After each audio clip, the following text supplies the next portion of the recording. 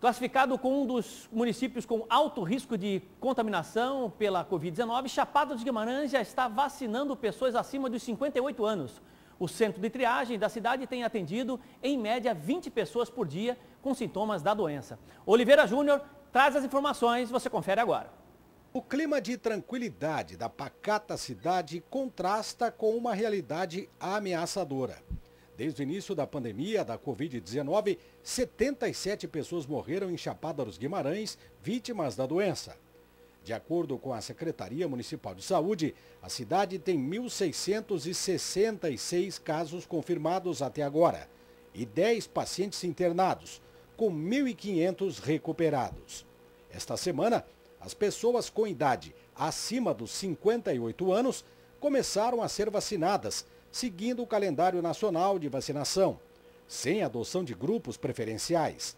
Assim, 8 mil moradores já receberam as doses dos imunizantes Coronavac, AstraZeneca e Pfizer. 5.850 receberam a primeira dose e 3 mil a segunda. Mas, diferente de outras cidades, a vacina não está disponível todos os dias como explica a secretária de saúde do município. A gente organiza de uma forma para não ter perdas. E nós temos aqui uma vantagem que nós temos 100% de cobertura de PSF, então nós não temos pessoas, quando não vem fazer a segunda dose, estamos iniciando agora com a segunda dose, que isso é importante.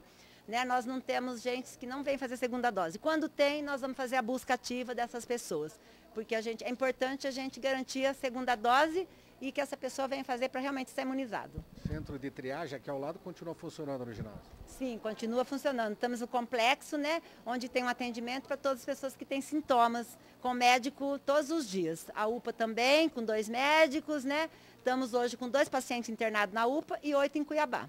A cidade ainda integra essa lista de grupos, né, está é, em alto risco. Né? Sim, ainda por conta dessa internação que a gente ainda tem ocupação de leitos aí em UTI. No centro de triagem improvisado neste ginásio de esportes, o movimento é tranquilo. Em média, são atendidos 20 pacientes por dia, a maioria com sintomas positivos que recebem a medicação. Este casal de idosos que mora na região do Manso já tomou a primeira dose, mas teve que ir até a cidade para uma consulta médica. É a solução, né? Que a gente vê no momento é, é isso. Né? Graças a Deus não me deu reação, nada, foi bom e estou feliz de ter tomado a primeira vacina, né? Vocês moram na região lá do Manso, né? E aí quando precisa de atendimento médico, tem que vir aqui em Chapada? Não, a gente consulta lá, mas quando tem, precisa de outro médico, né? Aí eles mandam para cá, né?